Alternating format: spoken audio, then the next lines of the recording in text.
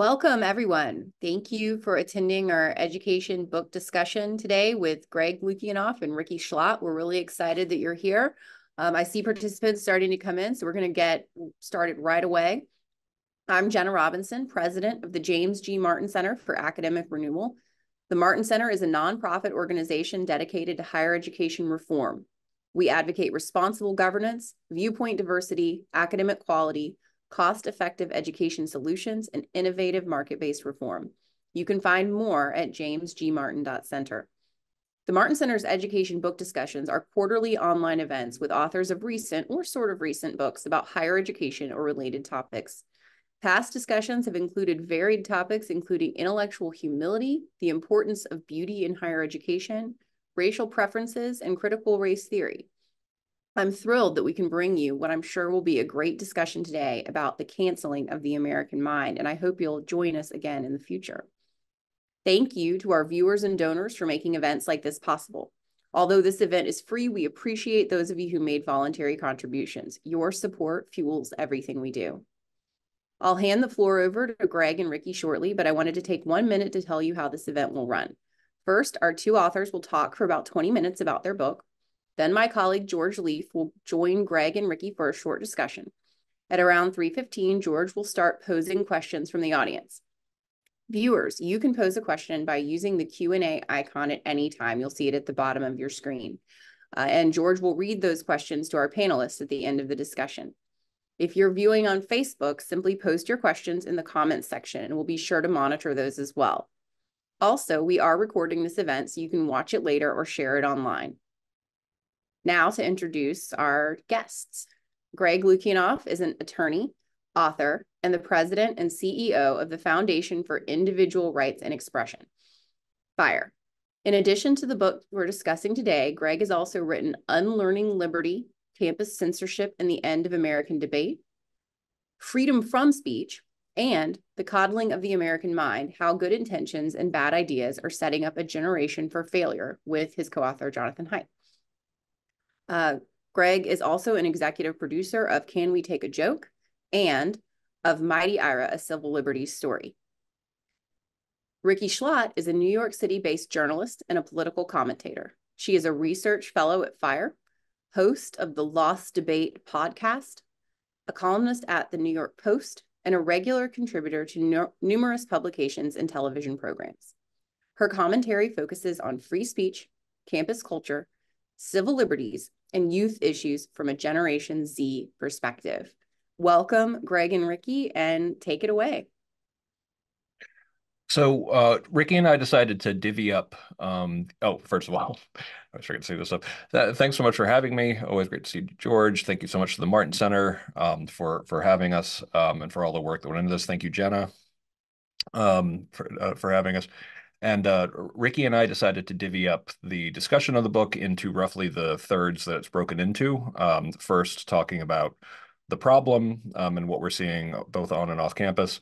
Uh, I'm going to hop in more for the uh, rhetorical fortress discussion, which is more part two about how this shows the sorry way that we tend to debate these days. Um, and then we'll probably work together on the final section, uh, the final third of the book, which is about um, potential solutions and also some interesting stories about how this has hit journalism, publishing, etc. So um, take it away, Rikki. Yeah. Um, so first, just a little bit of the the genesis of the book. Um, originally, Greg and I had planned to write more of a follow up to the coddling of the American mind in a more direct sense, um, particularly because that book touched so much on issues of Gen Z, and it was um, something that I had read as a freshman in college at NYU, and it really resonated with me. Um, but in the process of heading towards uh, that original book idea, we realized that people were still saying that cancel culture did not exist, um, and that claim just like simply flies in the face of all the research that um, everyone at Fire was doing, all the, the tremendous caseloads that poured in during 2020 and also my own experience having been on campuses um, in the very recent past. And so we decided to kind of pivot to um, the canceling of the american mind here. And one thing that we both realized pretty early on is that both of us dislike the term cancel culture. It's um, we think it's definitely been politically charged and abused in a way that um, is sometimes unfortunate, but that it's important to to keep people in the cultural conversation and not to over intellectualize a term that is no longer recognizable to the typical everyday person. And since 80% of the American public recognizes what cancel culture is and knows that term, um, we decided to lean into it pretty full tilt with our title, to say the least. Um, and we open our book with the case study of Hamline University, where a professor um, was showing a, a, a, painting of the Prophet Muhammad in a class um, that was a painting commissioned by a Muslim king and painted by a Muslim artist um, in the medieval times. And this teacher, this professor had multiple times warned students that this was going to be part of the content. Of course, um, in the Islamic faith, it can be considered sacrilegious. And multiple times on the syllabus, um, in person in the class, gave people day of the excuse to to to leave class if they were no longer comfortable, etc. And yet, this teacher or professor ended up being absolutely torn down by a student who retrospectively said that they were offended by having seen the image. Um, and the university president, in a pretty spectacular display, effectively said that her academic freedom was um, secondary to the student's right to feel comfortable. Uh, she was not renewed for her contract for the following semester. And it was just such a spectacular display of, of cancel culture in a, in a way that it just, regardless of people's politics, it seemed to just generally be condemned, um, which is unique because typically cancel culture cases tend to take one side championing um, the person being attacked just based on their politics. But this was a, a, kind of heartening moment, I think, for both Greg and I to see that pretty much across the board, people were recognizing that this was a violation of academic freedom. Um, and so we think that that's just kind of an illustrative case study. And obviously, um, in the wake of 2020, there's just numerous um, case studies that we have been able to pile throughout the book, uh, particularly what's happening on campus. And we go back and rewind through Greg's experience um, at of being at Fire for more than 20 years and of fighting the fight on campus, um, and the tremendous statistics and data that everyone and researchers at Fire were able to compile for us about how the caseloads are just going up year over year over year and exploded spectacularly in 2020. Um, and then we we also turn to the modern university campus um, to discuss how campuses are still ground zero, um, and that kind of draws a bit from my own experience at NYU and um, definitely growing up in a, an era where censorship was pervasive. Um, and where self-censoring was just pretty much the status quo, at least in my experience on campus. Um, and so that's generally the the first chunk of the book. I'll let Greg uh, get to the the second chapter or second portion, which is about how cancel culture works.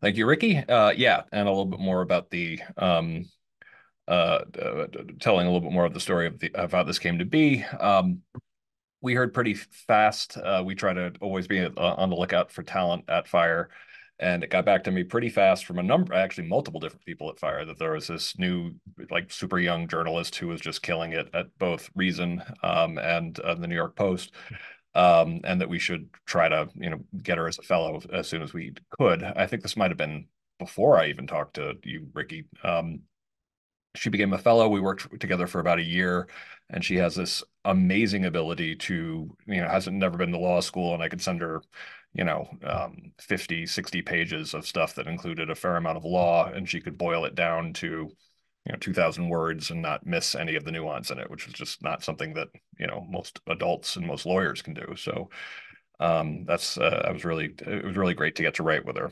Um, so at, and the process of working on the book um, I actually and uh, in many ways Rikki's more mature than I am I found it like incredibly depressing um, during it and really kind of disheartening about like how bad it made the whole situation uh, look. Um, and uh, but there's little little light at the end of the tunnel. Whereas when the book came out, it came out right around the time of October 7th. Um, and I think that although you know there, it's hard to say that there's a bright side to October 7th because it's just a horrifying attack. Um, one good thing that Bill Maher also agreed with us on is that we run into it's only the crazies now who are saying that there's nothing wrong in higher education. Um, I think this was really a slap in the face that the whole rest of the country needed, and I feel like it couldn't have been brought home just by our book. Um, it had to, people had to see it really writ large. So part two um, is one, I think probably one of the uh, if you think you know a lot about cancel culture and you've read some books on it, um, you know you might be familiar with a lot of the stories that Rikki and I talk about. There are going to be a lot that we know you're not going to be because we did. You know, there are a lot of cases that aren't all that well known that we covered as well. Um, but the part where we get to be a little bit more creative is talk about what we call rhetorical fortresses. Um, and this is the idea that both on the right and the left, although cancel culture is more a problem on the left, it still we we call it out when it's on the right as well because we're you know genuinely FIRE is a generally nonpartisan organization, and that's what you know principled people do.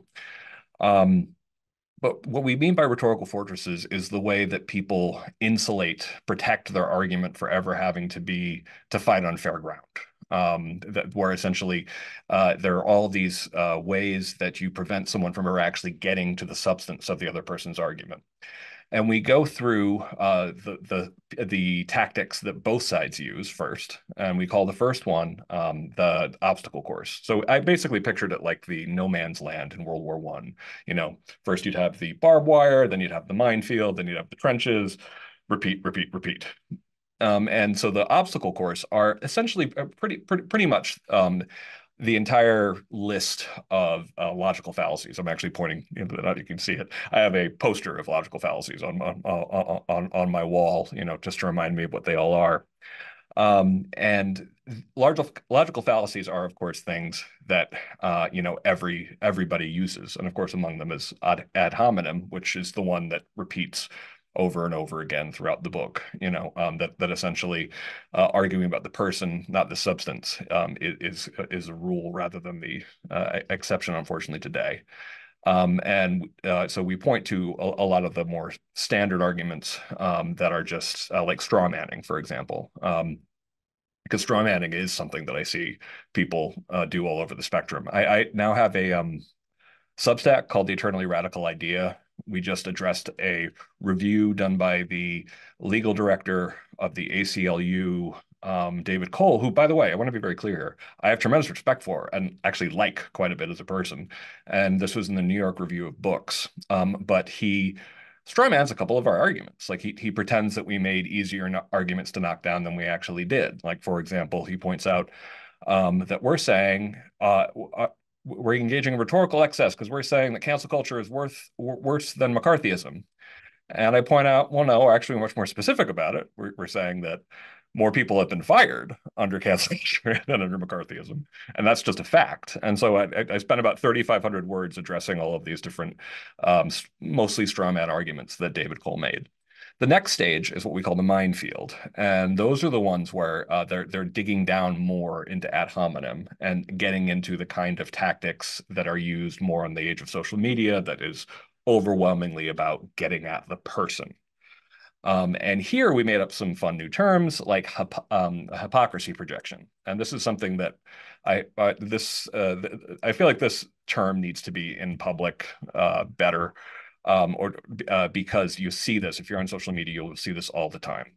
Um, and if you're familiar with fire, you've probably seen someone, you know, possibly in all caps writing when someone on the uh, uh, um, on the left gets in trouble, or on, for that matter, on the right gets in trouble, someone writing, "Well, where is fire on this case?" Um, and of course, what's happened time and time again is that we're literally quoted in the article that they're sending around like or the, the newspaper knows about the case because of our press release. Um, like if they'd done any minimal research they would have discovered that not only do we know about it we're already involved in it and we're actually why you know about it as well. My, my, my favorite example of this one was uh, someone actually where's fire on this one? Uh, other than the one where we were quoted like two inches down which actually happened multiple times. Someone was sending around some a, a legal document that was that you could read was actually something that was only available thanks to our legal team um, asking where we were on this particular case. So, um, and the hypocrisy projection comes from the idea that since we have uh, uh, caricatures of who our intellectual opponents are, and they have to be evil, and since evil means you have to be wrong, um, that uh, uh and since people really believe this, of course my opponents ha um, have to be hypocrites. Now, of course, ad hominem and hypocrisy, um, this gets at what we call the fourth great untruth in the book which is that no uh, no bad person has any good opinions. We put it I put it a little differently than we say in the book. Um, because if you'll notice, a lot of the way we argue on social media is just to establish that someone else is bad, and we're trying to make the argument, and then you, therefore you don't have to listen to them. And I always like to point out, you know, it's really clear that Jean-Jacques Rousseau and Karl Marx were awful people. You know, um, Marx was a raging anti-Semite, um, racist. Uh, Jean-Jacques Rousseau, don't even get me started on what a horrible person he was. Um, that doesn't mean they're wrong. I honestly think they're wrong for other reasons, but you know, some of the stuff on Rousseau's um, you know opinion on child rearing, for example, I think there's actually a lot of validity to it. His general will thing, horrifying. Um, but we argue as if just establishing that someone's bad is the same way of saying they're wrong, and we're saying like that's the first step that we do that that that is that is BS. Um, so we get through those those true techniques with some special shout outs for NPR's on the media, which is like the king of straw manning First Amendment arguments, um, if you've ever been able to tune into it. Um, then we get to the ones that are particular to the different sides of the political spectrum. The first one is the efficient rhetorical fortress, which is the one that we talk about on the right, where you can dismiss anybody that you can label woke, liberal, lefty, etc. And I say, and I emphasize label because that's, we don't argue as if, oh, I have verifiable proof that you're on the left and therefore I can dismiss you. It's simply to assert that someone is on the left and therefore I can dis dismiss them. Um, and what's funny about this, and I'm sure you know people tuning in have seen this happen, uh, you know, at least sometimes in their life. If someone doesn't like you, even if you're the most arch conservative, most well-established conservative person in the world, there's some jerk out there who they don't like your opinion on something. Suddenly you're woke. Suddenly, suddenly you're a lefty. Um, if they don't like you, so uh, and I'll get to how this tactic works on on on on the left as well. Then we talk about, you know, being able to dismiss experts, which we have some sympathy for because a lot of the book is explaining about how much experts have done to undermine their credibility. You can dismiss journalists as well, same, you know, but you, you don't dismiss all of them. And then, of course, for the, the most hardcore, that you can dismiss people who've previously said things um, negative about Donald Trump, for example, kind of like the MAGA exception. So we have three chapters on, on cancel culture from the right. Um, we have about 20 chapters on cancel culture more on the left. And we, I, I, mentioned this distinction because we were called out in one review for uh, engaging in mindless both siderism. It's like, no, if we're engaged in mindless both siderism, we would have had equal number of chapters on each topic. We're, we're recognizing that cancel culture does exist on the right, but it's a more serious problem in academia, corporate world, all places that are dominated by the left. So uh, the perfect rhetorical fortress. Now, the perfect rhetorical fortress is something I've been talking about since 2015, when I realized that people on my side of the spectrum, which is more I'm more left of center, um, the uh, who are um, you know obsessed with identity and how they're able to not address anyone's argument. And I, we call it perfect because it's invincible. It's just layer after layer after layer. And level one um, is uh, dubbing someone conservative. Um, and I call this fascio casting more recently. I'm, I'm not sure that's the term I want to stick with, but I want to come up with something catchy to get, get this across that like, you know, magically casting someone as a fascist or a, or, or a, or a right winger or a conservative is the most common way to dismiss someone's opinion in most circles I see today. And again, go back to our great untruth. It doesn't it's it's a BS argument. Nobody should have taken this seriously in the first place. But it's been so successful, you shouldn't be surprised that there are now mind-blowing law review articles published in prestigious journals that make the argument um, that the ACLU uh, and the um, uh, uh, and the New York Times are uh, neo-Confederates, um, by which they mean super right-wingers or, or their dupes, um, basically because they've actually occasionally covered stories from uh, that uh, give some credence to the fact that there's, you know, might be more to the trans issue, for example. Um, and that's a real sign that this tactic has worked so well, you're willing to use it on practically anybody because it just keeps working. We keep on rewarding it. So that's just level one. And you can basically get rid of 100% of people. And certainly if you use the other, if you use the, the obstacle course and the, and the minefield, you're already got to 100% of the population that ever lived. Then, but you're just getting started. There's 13 more steps. I'm not going to cover all of them. But we go through the demographic filter, which is essentially you can dismiss someone if they're white. You can dismiss someone if they're white uh, oh, you can dismiss someone if they're male. You can dismiss someone if they're not gay. You can dismiss someone if they're cisgendered, and you can certainly um, dismiss people if they're not any of the, anything that combines those intersections. And we worked out that that leaves about 0.8% of the population of the planet.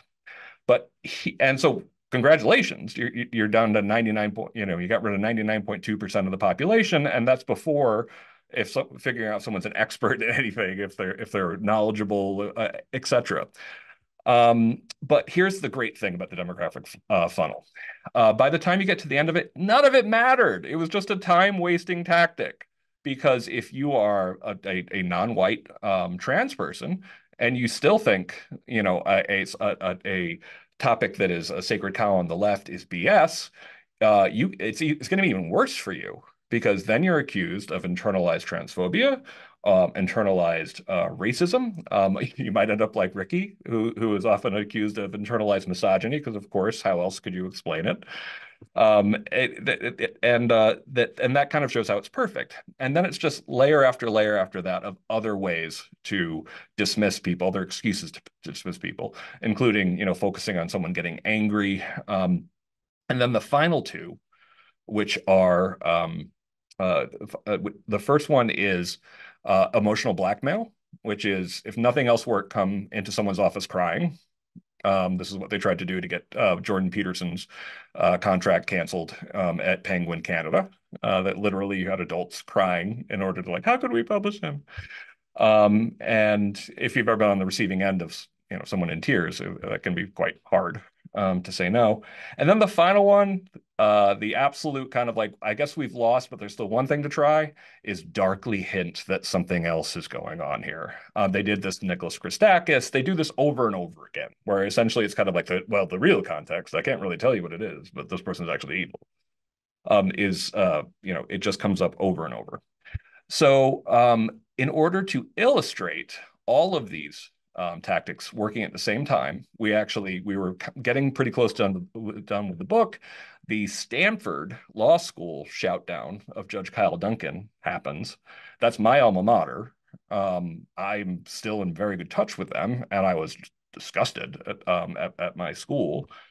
Uh, and we use that as a way of showing all of the tactics at the same time um, at use, including the don't get angry tactic, which is one of the ones that really blows me away. Because when this happened, a number of people, including Jennifer Rubin, who continues to embarrass herself, who was an American Association of University Professors uh, professor, who wrote a book arguing for limiting academic freedom, even though she's an AAP professor, um, uh, in the name of uh, banning, adding a new exception, new teeny, teeny exception to, to freedom of speech and academic freedom, which is just banning anything that, that can be deemed white supremacy, which which of course means anything you want it to mean. Any any any argument potentially can be white supremacy. So she mostly focused on the fact that Kyle Duncan got angry, and the the San Francisco Chronicle uh, made the argument that well he got what he wanted because um, uh, uh, because he got attention from it, but also he got angry, so he's he was just as abusive to the students as he was to him. And of course, what they leave out is that right before he spoke, two students shouted at him, "I hope your daughters get raped." And I mean, it's and that was just the beginning of it. I mean, the one that offended me the most was people actually saying to a Fifth Circuit judge that you couldn't get into this school, you know, um, which is like, oh, great, elitist assholes. That's exactly like what we want people to think we're not. But then also there, there were tactics like someone asking about um uh having having sex with men and about how kind of like uh, well anyway sorry that, that there was a lot of immature stuff going on i realize i probably want to keep this g rated so you you, can uh, check out more material like in, in the book about that so we use stanford to illustrate like how all these can be used at the same time uh in the book um, and so that's section two. I think it's some of the most interesting parts that we we wrote. So it was probably where we have a little bit more fun um, than in some of the other more depressing parts of the book. But then we get to our recommendations for how to drag ourselves out of this thing. And I'll switch over to Rikki. Yeah, I think we're probably a little tight on time at this point, but I think that a, a broad overview, perhaps we can lean a, little bit more into this with our conversation with George um, in terms of the particulars. But the places where we think there, um, there's just like the most ripe room for reform include um, raising kids who are not cancelers, which was a really important uh, conversation, in my opinion, as someone who pretty much only remembers the time frame of cancel culture. And I, I keep on mentioning, and it continues to surprise people that Gen Z has the most negative view of cancel culture of any generation.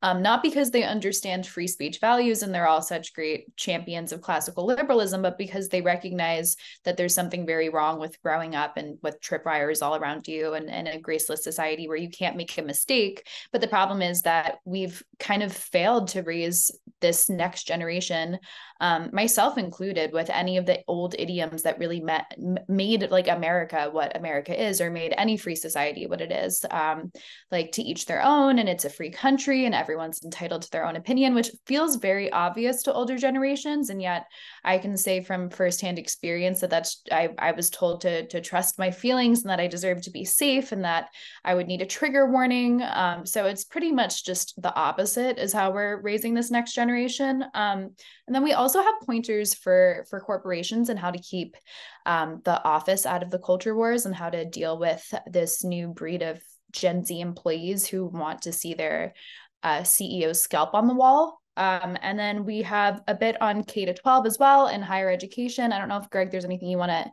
uh, mention on those, but yeah.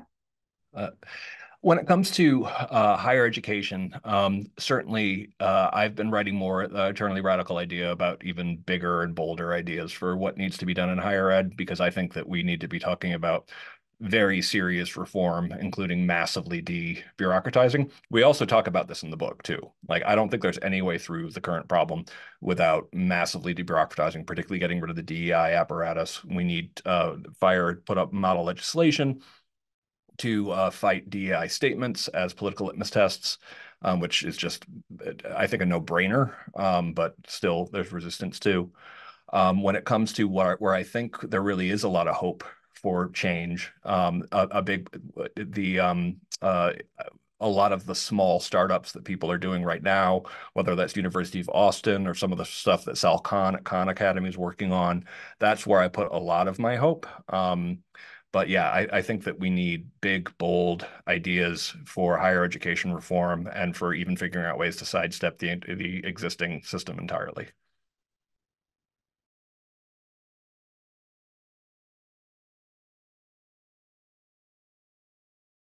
Oh, I think you're muted. Yeah, George, I, I think you're you're muted. There. There we go. Okay, I, I think it's time for um, some discussion. Let me ask, start by asking you this question. The two of you come from pretty far different points on the political compass. So how did that make this book go? Was it easier or harder? Because you you disagree on some things, but obviously you can disagree on things in a mature way. And mm-hmm. the whole point of the book is we can't disagree with each other in civil fashion any longer. So uh, how is that dynamic between the two authors of this book? Well, uh, you know, I, it wasn't it wasn't bad at all. Um, we we have a great working relationship and always have. The, the um, uh, and that part of that is that uh, Rikki, for a lot of her beliefs, would be you know like 25 years ago would be center left. Um, like the there there are a lot of things that she kind of takes for granted that um, uh, that would be mainstream, including her views on free speech and and, and other issues um, that would be not considered all that conservative 25 years ago. But we've seen this huge, you know, realignment. The extent to which we do disagree about stuff, we both believe in free speech. We both like and trust each other. So that makes you know that we we I don't think we ever really ran into any serious problem in that way. R- Rikki, did, did Yeah, I think um to to hop off of that point, today in like modern academia, if you're not far left, you're alt right, and so I just kind of sorted myself into being like, I guess I'm I'm on the right, but I mean, I would I would say that both of us have some centrist tendencies, but also I would say that the fact that we came from differing parts of the political aisle, but definitely like if the right left binary doesn't line up, the liberal illiberal one certainly does. Yes. Um, and I think like being able to distill our book and and to write it in a way that might appeal to people from across the aisle and also perhaps patch each other's blind spots a little bit um mm. too was really it was it, actually i think if anything it was a, a benefit to the book because um I, I, I don't want it to be a partisan exercise and free speech is not a partisan issue and so i i hope that our partnership uh, illustrates that fact I think that's a really important point that the the true division in America these days, right and left, that doesn't mean much anymore. Mm-hmm. Liberal versus illiberal. Now that means a lot. Are you an authoritarian or are you willing to take a live and let live approach to life and politics and everything else? Well, let me ask you this next. Uh, in the past, college students were mostly very strong advocates of free speech. But today, many of them are eager to silence and punish anyone who says anything they disagree with. Now, how did this transformation come about? Do you have uh, 18 hours? Uh, no, I, I, know you're good at condensing stuff. I, I, yeah, no, I think I said Rikki's better than, than I am. Um, but uh, j- just to say it as quickly as possible. One, we always have to remember that um, free speech being well respected as, as a bipartisan issue is not situation normal for most of human history. Um, that's something that I was lucky enough to grow up um, in a time where free speech was very well respected. But that's not. That's why we call I, I call my pod uh, my my, my uh, the eternally radical idea my Substack the eternally radical idea because I think free speech is radical in every in, in every generation. Um, but there's two forces that that um, really led to um, uh, this shift uh, in the left. Uh, one was academia um, uh, and momentum. That essentially, like when something starts trending a little bit more in one partisan direction, it uh, uh, forces take over, and then you start attracting more people on your side, and then you end up having sort of a runaway polarization effect that essentially, and you get further and further and further in the direction of the majority of the group. Um, now, those are the kind of impersonal social sciencey forces that a lot of books, um, the kind of books that I like, and a lot of my own kind of um, background in, in, in social science actually gets me excited uh, as well. Um, so some of it are what I would call natural forces. On the other side are very intentional, very pernicious forces. Um, and, you know, Herbert Marcuse, eh, one year after the beginning of the free speech movement in 1964 in Berkeley, where, but where, as we all know, some of the people in that movement were not all that big on free speech. They were big on their own free speech, but some were very good, to be clear. Um, the but 1965, Herbert Marcuse writes this book that's still treated like it's brilliant when it's just making the incredibly primitive argument that um, essentially my people are good and enlightened and the so-called right wing and he's very clear that he just means conservatives um, aren't and they're regressive and therefore a truly free society a truly equal society would have tolerance for my side but uh, dread powers over the, the regressives on the other side. Very primitive very basic argument but somehow taken seriously. Um, now this wasn't taken that seriously on the left that the kind of left that used to be the kind of one that I grew up in, which is the more libertarian kind of hippie kind of like, you know, leave, leave us alone kind yeah. of attitude. Um, and that was very popular when I was younger. But there was this left that was badly discredited by the fall of the Soviet Union, badly discredited for being so out of touch in the 80s, badly discredited by the political correctness movement, um, and kind of a joke. And by the by the time the mid 90s came around, it was kind of sort of collectively agreed on that left was um, foolishness. Uh, but unfortunately, uh, it was agreed on the rest of American society, not on campus. And unfortunately, uh, when I started in 2001, the bad left uh, was winning, and unfortunately, I feel like a lot of the the more liberal left um, is is uh, even though I think we're still numerically the majority when you look at the polling, we're not the one we're not the powerful ones uh, on that side anymore. And there's also just a tendency that once you're in power, you know, uh, when you're when you're the small minority, um, then of course you believe in free speech because small minorities and the powerless need free speech because that's the only power they might have is their voice. Uh, but once you're in the majority, once you're making the rules, then this is just this is just limiting my power to I don't know squelch you.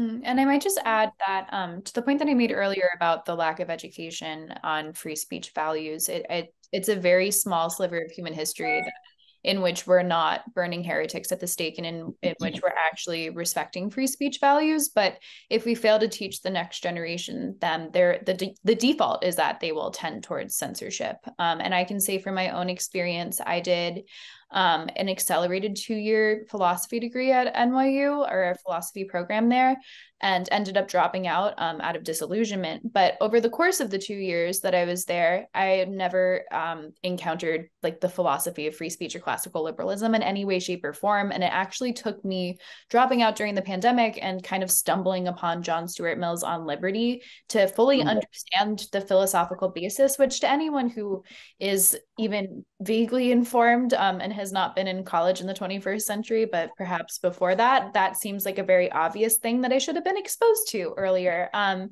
but the fact that that was such an earth shattering idea to me, um, even as a voracious reader and um, and a, at the time more politically conservative as well, the fact that I just had never encountered that that philosophy, I think, uh, goes to show just how how far we can drift if people just don't understand the values in the first place. Greg has debated people who downplay the phenomenon of cancel culture. That's a, was an interesting part of a chapter in the book. Well, what is their argument and how do you respond? Uh, level one, um, and this is also in the um, obstacle course um, uh, chapter, uh, and it's become a cliche, but a funny one. Um, this isn't happening at all. And then you provide enough evidence that it is happening oh, this is happening, but it's not happening a lot. And then you provide, and that's actually where a lot of the debate is right now. Um, and one of the reasons why we wrote the book is because there have been some other books written on cancel culture. They just didn't have a lot of data. Um, and Fire, uh, Coddling the American Mind was great for Fire because not only did it get us our name in front of a million uh, additional people, but more, um, the uh, it uh, showed that having a research department at Fire with lots of different social scientists was really necessary, having an interdisciplinary approach. And that's some of the coolest work we're doing, you know, today um, are thanks to these great researchers that, um, uh, that, that we that we have, and we were able to put them to good use to do massive polling. It's the stuff we use for our campus free speech ranking. If people on, on, on this call don't know about that, uh, we have this amazingly rigorous free speech ranking, which, by the way, um, Harvard finished dead last um, by our ranking this year, and it's not a subjective ranking. It's based on um, the, the massive polling and databases of student cancellations, professor cancellations, deplatforming, and speech codes. Um, and they and Harvard really won its position on there. Um, University of Pennsylvania came in second to last. University of South Carolina came in third to last, by the way. So it's not it doesn't it doesn't always work out exactly like you'd think. And Georgetown fourth to last.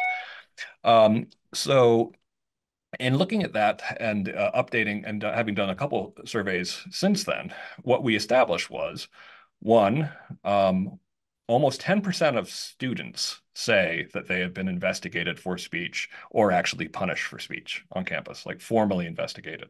Now, I, people don't have a good grasp of numbers. They have a terrible grasp of history. And one in 10 is insane. Like that, that's not, you're not going to find numbers like that in a history of that many people, you know, um, being silenced in the United States, at least. Uh, that's, that's like a million people um, who have either been threatened with punishment or actually punished, um, or at least half a million actually punished. Um, completely nuts. Um, it's even worse, by the way, for professors because one in six say that they were um, investigated or punished, and of course, of course, that doesn't and couldn't count uh, people who've already been fired uh, be, uh, then we get to the no numbers we know about, which we also know is a massive undercount. I have something in Reason magazine called the um, uh, called the the Conformity Gauntlet, which is an adaptation of the chapter that me and Rikki wrote, which um, about all the different conformity-inducing pressures that you have on an individual student, and it's depressing to read, but it's you know uh, nonetheless true. Um, and so the idea that they still find witches to burn at all is mind blowing. And we found about a thousand um, uh, professors targeted uh, since 2014 for punishment, and that's our official start date for cancel culture is 2014 when it comes to professors, it didn't really accelerate until around 2017. So that's overwhelmingly that 1,000 is just in the last, say, five years um, of, of cancel culture. So it's it, it's numbers unlike we've ever seen. Two thirds um, of the 1,000 have been punished in some way, and about a fifth of those, uh, approaching 200, have been fired. And just to give some historical perspective here, that's twice as many um, as were fired during the Red Scare. There were about 62 to 63 communists fired during the Red Scare, like for being the Communist Party. So it's more than three times the amount of communists who were, who were fired uh, during the Red Scare. So you have to lay out all that data. Um, and I'm getting, it's hard to really, once you know it all, to say that this is no big deal.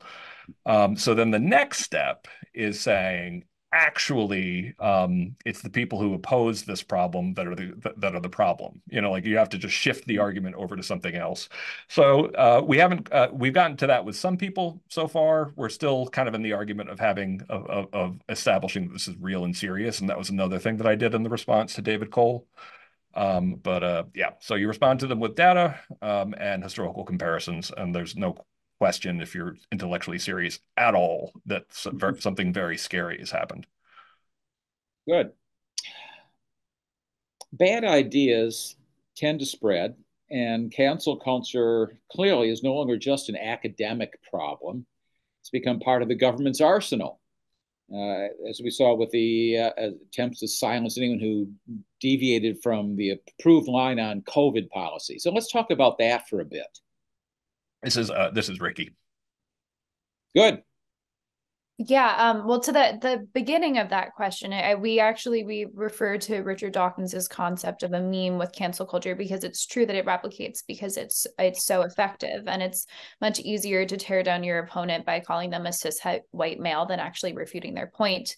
Um, but certainly it's been it's been replicated on on the governmental level. I mean, we we talk uh, or I've spoken to Dr. Jay Bhattacharya um, about the fact that FOIA emails um, uncovered that Dr. Francis Collins in communications with um, Dr. Fauci uh, had called him a fringe epidemiologist and called for a swift and devastating takedown of his research um, as he was advocating for focus protection pretty early on in the pandemic. Um, and I think for for me, for Greg, for um, for many people, we really saw for the first time um, the the active suppression of of dissenters in an unfolding crisis at a point in time where if we'd actually had an honest conversation in the beginning and said we don't know everything, but here's what we do know or here's what we think, rather than having edicts coming from on high or mm-hmm. so-called noble lies, um, I think that we could have come out of the pandemic actually more unified because we'd come out of something that we'd fought together and we all grappled with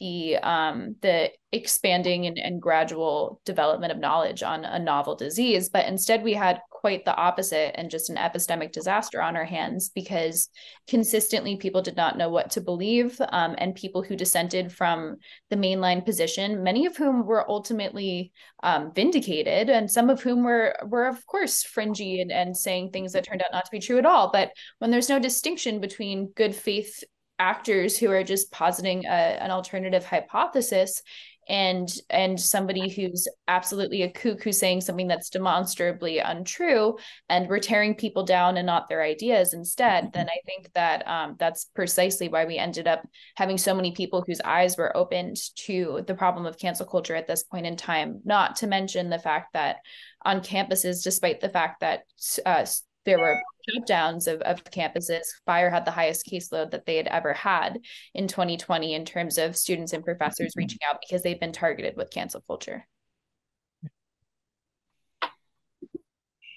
There's a lot in the book that's pretty darn depressing, but maybe the most depressing story of all is the story of Mike Adams. Oh. Um, who taught at UNC Wilmington. Some of our listeners may remember Mike Adams. Greg got to know him rather well. I, I, let's let's go into that story a little bit. I think it's so revealing. Yeah. Um, yeah, that one's you know that that that that one will never stop singing a little bit. You know, like the um, I wrote about this again, you know, I keep on mentioning my Substack, but I, I, did an updated version of something that I wrote back in 2020 about this. Um, and it's become probably the most read thing on the website now. So I started uh, at Fire back in, um, I actually landed in Philadelphia um, to look for an apartment at 9, 10 a.m. on 9 11. Mm. Um, so I and, and, I so I ended up being stuck in Philadelphia for a week because uh, people, people some people are too young to remember, including Rikki. Um, air, airlines were shut down that entire week. Um, like you couldn't, I couldn't get home back to California where I lived at the time, and uh, shortly thereafter, Mike had called out a student who wrote basically, I think maybe on the 11th, I think actually it might have been uh, September 12th, saying uh, to the entire university listserv that America had this coming because we're monsters and, you know, like we, chickens are coming on a roost kind of nonsense. And he wrote something back, you know, calling her out. And, and the most offensive thing he said was, listen, your speech is protected, um, just like bigoted and ignorant speech, or, or so I think he actually even said ill-informed, he didn't, I don't even think he called her ignorant speech is, um, you know, it should be. Uh, but that was apparently the offensive thing that he said to the student that was not okay. Um, but the student started claiming that he was like orchestrating uh, harassment uh, of her. And so they looked into Mike Adams's emails. And I was new to fire at the time, was like, like I said, first legal director. And so I, I, didn't have as much experience seeing cases. And I would say, given my career, this is like a four on the badness scale I, am used to these days, just to give you an idea of how bad things have gotten since then. Um, this is not even that bad of a case in the grand scheme of things. But I was mad. I was really angry about this case. So Mike and I became friends pretty early on. Um, and I was reading a book called um, How to Talk Dirty and Influence People by Lenny Bruce. Uh, I recommended it to him. He and the, he then forever uh, attributed to me the idea that because he read that book, he realized that he was going to be an even more in-your-face kind of conservative activist. That he was going to be much more um, uh, jokey and irreverent in his um, uh, in his columns. And so that meant we ended up having to defend him an awful lot. And, you know, I've come more from the left side of the spectrum. Um, he would write some articles and, with titles uh, and points that made me cringe sometimes. Um, but they're always jokey and they're uh, they're always kind of uh, like a lighthearted way in a way that's always accepted when people on the left do it. Um, and I got used to defending him, and he actually won a really important case for academic freedom for the entire country in the Fourth Circuit, um, Adams case. And he made a joke in 2020 where a lot of these worst cases happened, um, where he likened um, lockdowns jokingly, very clearly jokingly, to slavery. Um, that essentially, like uh, he said, Massa, governor of North Carolina, whose name I've got, or South Carolina, whose name I got to learn at some point, um, let my people go. So, like a joke out of Ferris Bueller, for goodness sakes. Um, and he uh, students really flipped out. They started demanding he be fired. Um, he, they uh, because he'd previously sued and won against the school, the school had to sign a severance agreement against him. Um, he got you know probably a fraction of the money he should have gotten. Um, and I talked to him since I thought he was going to be fine because he always just struck me as so self confident. I, to my eternal shame, um, only contacted him a couple of weeks after he was already fired, already forced out and he was not okay. Um, uh, protesters were still coming to his house, um, and uh, and he didn't sound okay. And he was asking me like, "What can you do legally?" And I'm like, "I'm sorry, you signed a severance agreement. There's not a lot you can do." And that's kind of the last thing I've said to him. Um, and he killed himself the next week. And that he's not the only person I've known and and since every like I'm very open about my own psychological struggles in coddling the American mind, um, I can only tell you this part. Everybody in the movement who's having a hard time has a tendency to come to me to confide in me to to say that they're having a hard time, and I love having that position um, uh, because I I helped out a lot of people in my life, um, and I know there of some other people who've killed themselves, and I'm quite sure that it was because of this environment. But as mm. far as like the most, the one that was the most directly and most clear it was cancel culture killed Mike. And um, yeah.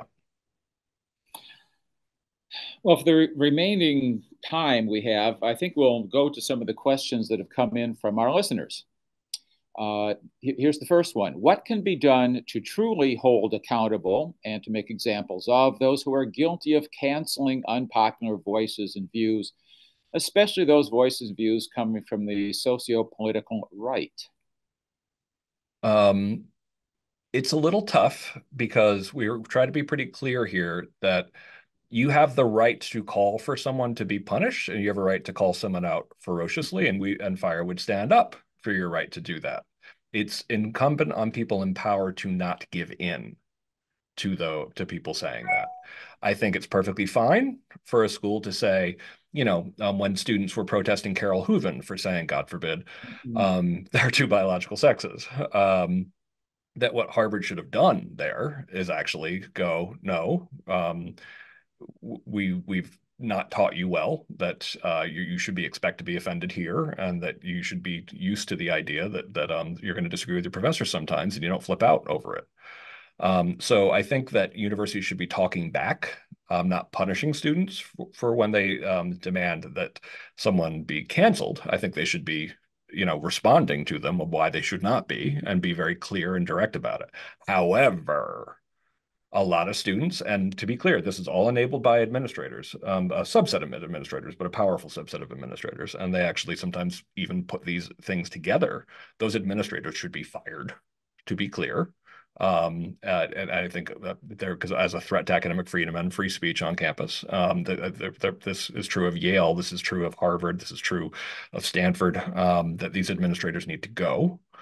Um, and when students go beyond, um, you know, mere mere criticism or protected speech, when they're blocking people, shouting people down, um, they should be uh, punished. And I think in many cases they should be expelled as well. And certainly if it involves violence at all, they should be expelled. Um, another question. For public universities, how do you feel about legislatures and governors trying to lead reform on DEI and grievance studies? If it's grievance studies at public universities, then that runs into serious academic freedom, First Amendment issues. That essentially they're they're saying that a like so the Stop Woke Act. Um, I know that there are probably people on this call that were highly sympathetic to this um, in Florida, it was unquestionably extremely unconstitutional because like they actually had to go into court. The, the, the state of Florida had to go into court and make the argument that under this act, uh, a professor could argue against affirmative action, but they couldn't argue for it. And it's like as soon as you've admitted that, you're mm-hmm. basically saying this is laughably unconstitutional. We t- and we told the governor that from the beginning. We told everybody that, and then of course, when it came up, should be no surprise. Fire is genuinely nonpartisan. We took it to court and we won. Uh, and I believe that we'll win again. However, um, if a school is saying that we're going to limit the number of majors we offer, and we're like, say, let's say I think some of these schools should be only should I, I honestly this is this is how radical I've gotten. I think some schools should be going should be breaking off their science schools because the rot is so bad. Um, and that if a mm-hmm. school is like, listen, we're just uh, uh, we're, we're just offering hard science majors from now on, um, and that completely getting rid of some of the grievance study stuff, including you know some of the other departments, they have every right to do that. Um, and when it comes to getting rid of administrators, um, they can get rid of administrators. Um, and I've, I've been a little bit embarrassed for some people on who I normally agree with who will point out um, they'll they'll criticize the Stop Woke Act. I'm like, okay, I agree with you on that. And then they'll talk about and these other policies that say you have to get rid of your DEI administration. And I'm like, uh, uh, staffers who are threats to academic freedom. And I always point out, like, you have to you, you should say in the same breath that oh but academic but academic freedom is threatened by these administrators routinely. So you need to like getting rid of them is like saying oh we have a free speech right to have our censorship police which is exactly what it's saying. So yes. I, uh, de- debureaucratizing i think is a great idea. R- rikki anything to add to that? Yeah i would just um, add on this front that I this is a, a place where I'm I'm definitely calling out my own side frequently, where I feel like there is a tendency to fight cancel culture with more cancel culture or a liberalism with more liberalism. Um, and I'm oftentimes sympathetic to the impetus to do so or, or the underlying beliefs, but I think the tactics have really gone awry in some uh, portions of the right wing where it's fighting might with might in a in an unhealthy way that's not sustainable and does not actually get to the root uh, cause, which which in in my view is is our alienation of a free speech culture in society right now. Okay. Uh, another question. This relates to a recent event at UNC. Last week, members of UNC Chapel Hill chapter of Students for Justice in Palestine protested a joint appearance on campus by Bari Weiss and Frank Bruni, attempting to shout down Weiss in particular. Provost Chris Clemens, who founded Carolina's program for public discourse, which hosted the talk, was not having it. He stood and interjected immediately that state law forbids the heckler's veto and requires the university to protect the rights of speakers to be heard and attendees to hear and see the event. Clemens announced firmly, You are not allowed to disrupt this event. You will need to leave. You will need to leave now. Order was restored quickly and the hecklers ejected. Weiss and Bruni continued their discussion debate. UNC Chapel Hill is an emerging national leader in the freedoms of speech, thought, and academic inquiry. Why are so few other universities following Carolina's admirable lead, especially public schools supported by taxpayers and accountable to the citizenry? Uh, his name is Clemens, right? Yeah, uh, Chris the- Yep, I, I I know him and he's great, and uh, and good good for, good good on him for that. Um, one of the okay, there's a couple different reasons why I think UNC is a little bit better of environment to begin with. One of them is, and here's where I'm Rikki can attest. I'm obsessed with class, and I actually think an awful lot of the um, uh, the culture war is actually about economic class in, in a way that uh, a lot of the people, you know, a lot of the Harvard grads don't like to admit um, that, that, that a lot of those issues are actually more about economic class. And I think that UNC, Chapel Hill, um, and a lot of public schools, because they have a better balance of people who aren't just from the weird blue bubble at the top of the economic distribution, tend to be a little bit more grounded. And I think that actually makes a big difference in terms of the political climate that you have. Um, so I've actually generally enjoyed going to UNC Chapel Hill in a way that I have not enjoyed going to Duke. um, but uh, another thing is having the support of your um, uh, board of overseers um, uh, and having having some support in the larger environment. So I think that people, in this case, the idea of them getting in trouble, the, those students getting in trouble, was a more credible threat than it would be at a school that was completely in the tank for any pro-Palestinian protester that they run into. And that's one of the one of the problems that people don't entirely get that the pro-Palestinian standpoint is a very popular standpoint, particularly in elite colleges and and, and schools in California, and they get and they're allowed to get away with a lot of stuff that isn't protected and that shouldn't be, um, including shout things like shout downs. Mm-hmm. Yes. Uh, we're, we're getting low on time, and my computer is low on power, but I think we have time for a little bit more. Okay. Um, here's a question. Any thoughts on ways to improve K 12 schooling to help build a free speech culture? What do you think, Rikki? Yeah, I mean, I think that teaching the lessons of, of classical liberalism and free speech and not taking for granted the fact that they are in lessons is very important. I'm also a huge advocate for civics education. That's something that was really glossed over in, in my own education. Um, even though I'd gone to great private schools, I've just, I was woefully um, un, uninformed. And we know that less than a quarter of eighth graders are proficient in civics and in US history for that matter. Um, so I think that emphasizing those, um, those particular fields of study at a younger age is really important. Um, and also, I think uh, we we definitely talk about the anti-bullying movement and some of its excesses as well, and pulling away from the idea that there is just good and bad in, in terms of interpersonal co- uh, conflict. Um, and kind, I think that sort of binary and some of the excessive anti-bullying uh, kind of monitoring of children and not allowing them to have as many uh, disagreements without a, a, third party or an adult getting involved and and kind of like bringing down the gavel on someone i think is a, a healthier uh, a track for k to 12 as well. Yeah and I, I wrote something called the empowering of the american mind which is a list of principles um, for uh, whereas I think a lot of um, reforms for K through 12 uh, curriculum on the right have come uh, on like what stuff should we ban and what stuff should we get rid of. I think it's always more effective to have a positive vision of what you would want that is incompatible, say, with identity politics um, and principles that are bigger and more inspiring and that actually that you that are are mutually exclusive. Um, so we, we, tried to boil down the empowering the American mind in canceling of the American mind in a in, in a, a, very quick, easy to read way.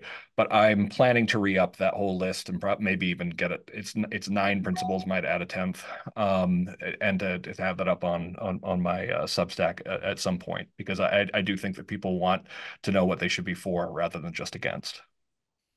Okay, perhaps we have time for one more question. I hope my battery has time for this too. Uh, on my campus, UNC, a constant refrain is that conservative students self censor simply because they are losing the intellectual debate and that their ideas shouldn't be welcome on campus anyway. How can we convince those kinds of people that free speech is an essential principle? What do you think, Rikki? Um, I mean, I can definitely say being more right leaning at NYU, I was self censoring. I think this is um, true and pervasive. And as soon as I started writing about um, issues of free speech on campus and op eds in the New York Post, I was like literally inundated with people in my DMs or in um it was sending me emails, finding me in the school directory saying, I completely agree with you, but just let's just don't tell anyone that we had this conversation. And then people that I had interacted with in my day to day life um, frequently at NYU, who I never would have known, um, shared some of my concerns about campus culture, if not for having put myself out there in the first place. Um, so there is, I think, um, a, a truth in the idea that there that courage is contagious, but also that cancel culture really thrives by making people feel alone. Um, and so I think, you know, I, I think there's a, a role for professors uh, in particular to emphasize devil's advocacy and the idea that even if you do toss a, a, a belief out there that you might might be still kind of half baked or might not even be your own that that isn't necessarily something to attach to the person um, is helpful in the the campus setting. But then i also think it's it it there is a strength in numbers and it is a matter of more people coming out and calling out the problems that they see and not being afraid of the consequences which i am a little bit heartened that i've seen more of that in in recent history. Um but certainly I think that self-censorship is is pervasive and, and massive on campuses and particularly on the right for sure. Uh, perhaps we have time for one more. How do we build the base where the left and the right learn to respect each other and stand up for each other's rights to be heard? Oof. Um, I, am gonna declare my. Uh, I already have actually decided that my book for the month um, is uh, the fourth turning is here. Which um, before I read it, I assumed it was some kind of like quasi mystical BS type stuff that I wouldn't be that into. Instead of a deeply erudite uh, theory of of um, some tendencies that tend to repeat in history. I think we are coming towards something that's going to be pretty big and pretty ugly. Um, and I think that I've been saying, Haidt and I have been saying this for a while, that we think things are probably going to get worse before they get better. Um, so I think that everything is going to be in flux um, in, in, in big ways in the next 10 years. Um, and I think that there is real possibility for uh, teaching that way, but probably not before um, the crisis gets worse um, unfortunately, not to leave everybody on such a down note. I will say this though, in times of crisis, and people have said, "Oh, everything's at stake, so so we have to give up on freedom of speech um, because it's too you know it's too important. We have to uh, we have to own the libs or own own the right wingers." No, when things are in crisis, the battle rules and the rules of the Constitution become more important, not less. So please consider supporting Fire, uh, thefire.org. a good way to end. Support fire. And the Martin Center, too. We've been in the league yes. for forever. Yeah. Well, I think that's about all the time we have. And I thank uh, you, Greg, and I thank you, Rikki. And I will encourage all the people who've been enjoying our webinar to get a hold of Canceling the American Mind. It's an excellent, excellent read and a, a good conversation starter.